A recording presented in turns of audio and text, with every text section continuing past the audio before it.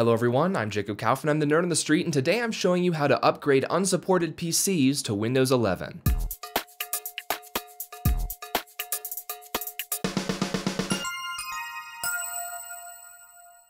Okay everybody, Microsoft released Windows 11 as a free upgrade to Windows 10 a few years ago now. However, Windows 11 doesn't support all the same hardware as Windows 10. Microsoft released a list of processor and motherboard features basically that were required in order to do that upgrade. Up until now that hasn't really been a problem because you could still just keep running Windows 10 if it works on your computer. However, later this year in October, Windows 10 will be reaching end of life, which means it will no longer be receiving regular security updates from Microsoft. That means you're going to want to upgrade to Windows 11 for any PC that you're using day to day. Now, if Windows is telling you that your computer is too old to upgrade to Windows 11, you might still be able to upgrade anyway. You see, certain Windows 11 requirements like TPM versioning, secure boot, and even some processor features aren't actually required. You just need to know how to get around Windows's checks for those features. Last month, I went to do this for a small business that I do the IT for. They had four desktop computers all running Windows 10. While there are several ways to accomplish this, including including things like registry edits,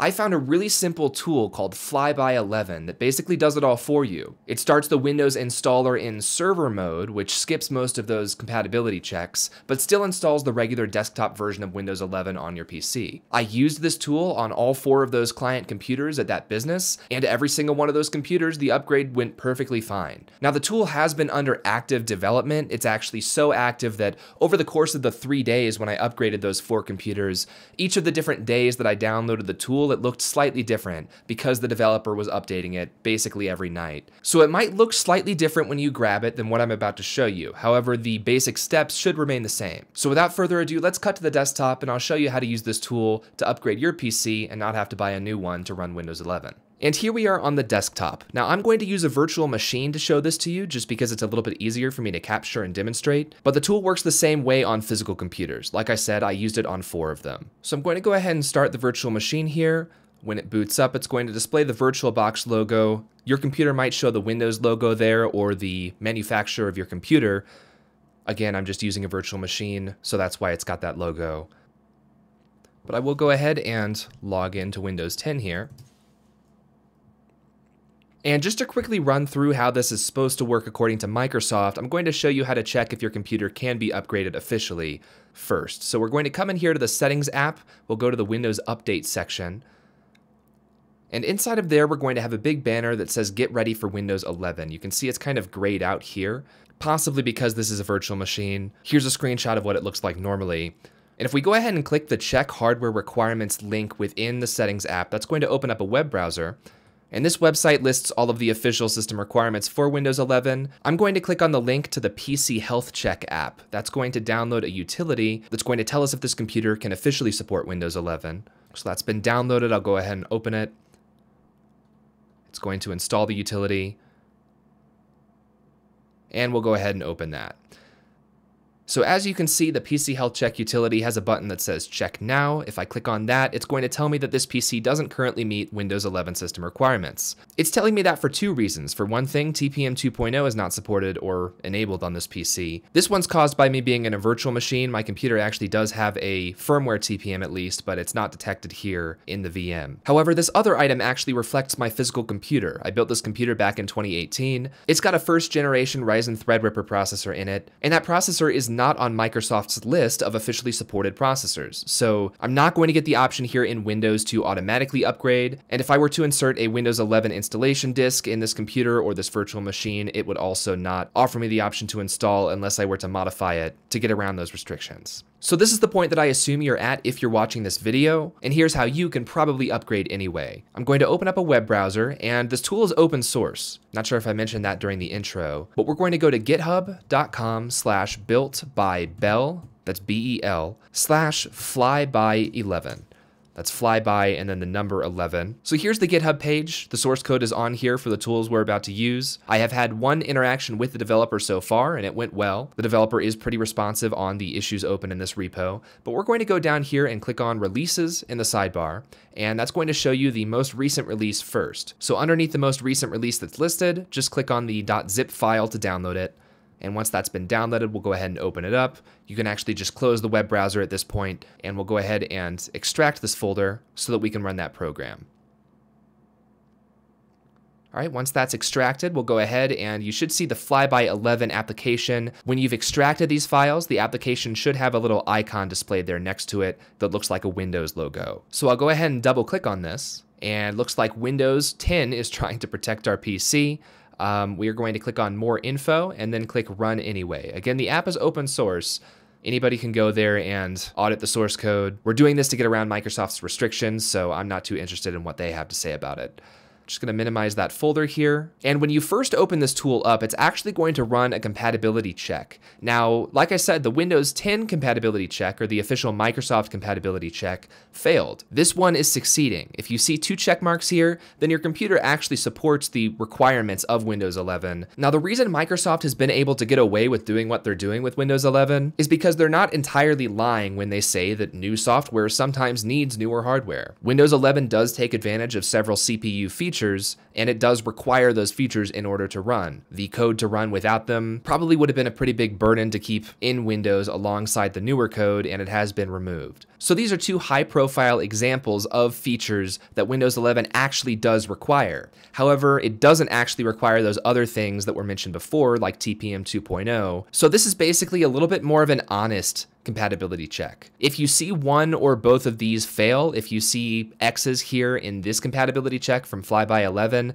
chances are you actually might not be able to run Windows 11. So in that case, you're going to want to look at maybe switching over to Linux or else getting a new PC in order to not be on an end of life operating system. However, there are a ton of PCs that actually can run Windows 11 like you just saw, the official check failed, this third-party check passes, and we can go ahead and click on the green Start Upgrade Now button to launch the proper upgrading tool. You'll see here on the side, the developer did start including a little Clippy recreation just for fun with this tool. But to get started here, we need to download a Windows 11 ISO file. That's the same type of file that you would use if you were creating an upgrade disk, like a USB drive, to perform a clean installation. And you can do that yourself from the Microsoft website, or there's actually a tool we can launch right here. It says download via Fido. I clicked on that and it's gonna give us a menu to download this automatically. So here in the Fido ISO downloader, uh, Windows 11 is selected by default. I'll click continue. And next up, we've got our release. Now, one important thing to note, Microsoft has stated that future updates are not guaranteed if you install Windows 11 on an unsupported PC. Now, minor updates seem to be going through normally for everyone who's used tools like this. However, Windows has these major updates every now and then, versioned by these codes, such as the current 24H2, released in 2024 October. So in the future, it's possible that major upgrades to Windows 11 might not be installed automatically on an unsupported supported PC the way that they would be if your computer was supported. However, assuming that the actual Windows 11 requirements do not change, you should be able to just run Flyby 11 again in the future, and at that point, you'll have the newer release available to install using this same process. Just wanted to mention that for you to keep in mind if you notice that you're not getting an update later on in the future. For now, we're just trying to get on Windows 11 in the first place, so I'll click continue on the only release available. The edition, the only one available here is home slash pro slash education. They don't really separate the ISOs out too much anymore.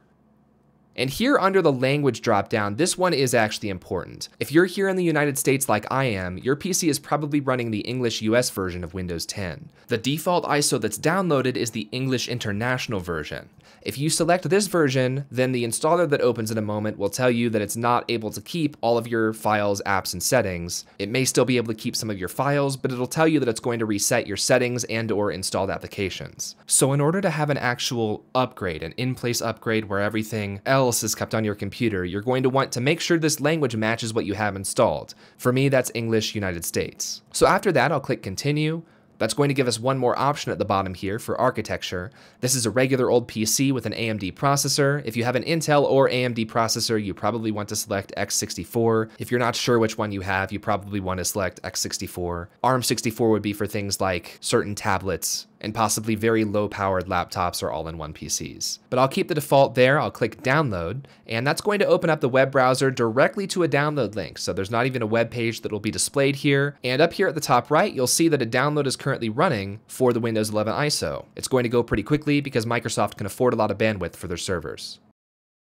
Once that's finished downloading, just close your web browser again. And back here in Flyby11, we're going to go to this More Options drop-down on the left side of the app, and we'll go to the first option, Select from Computer. That'll give us a browse window here where we can navigate to our Downloads folder and select that ISO that was just downloaded. After we click Open, Flyby11 is going to open up that ISO, which contains the Windows installer. After it's done reading that, it's going to launch a PowerShell prompt, And you can see we get a message that says success, Windows 11 installation can now proceed. Please follow the instructions in the setup window. As you can see, sometimes other things can pop up over that. The installer can pop up over that. So you might need to move some windows around to see everything that's going on here. I'm going to click OK to dismiss that prompt. And over here, we've got our install Windows Server window. Like I said, Flyby 11 is running the installer in server mode just because it doesn't have those compatibility checks from Microsoft. It's not actually installing Windows Server. It's still installing desktop Windows 11. Now I'd recommend just clicking next if we click on change how setup downloads updates here. You can see the default option is to download updates while we're installing Windows 11, which is what we want to do because otherwise you're going to have to install those updates afterwards anyway. The analytics checkbox at the bottom left is unchecked by default, so we'll go ahead and click on next here. And after a few more screens, we'll accept our license agreement from Microsoft. And on the choose what to keep page here, again, if the keep files, settings, and apps option is grayed out, that means that you selected the wrong language when you were downloading the ISO a few minutes earlier. So if that's the case and you want to keep your files, settings, and apps, close out of the server setup, run the tool again, and select the proper language. In my case, I did everything correctly, so this option is here, available, and it's selected by default. I'll click next again,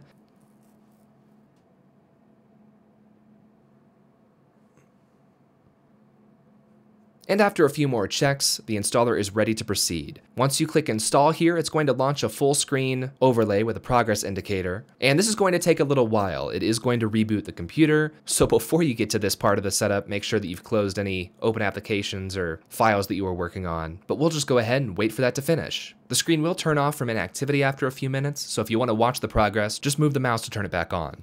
As you can see, after we get through that first percentage counter, the PC will restart,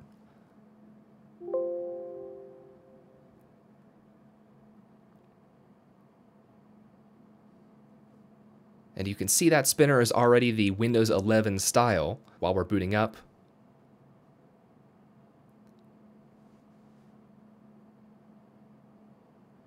And we'll have one more update screen to sit through once we're on Windows 11.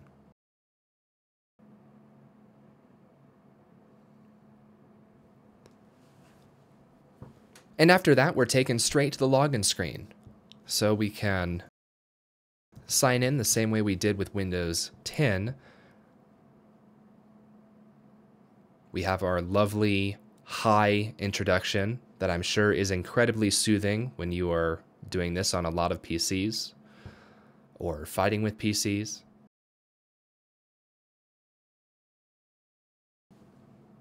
And finally, we will be taken to the Windows 11 desktop with our taskbar taking another second to load in there.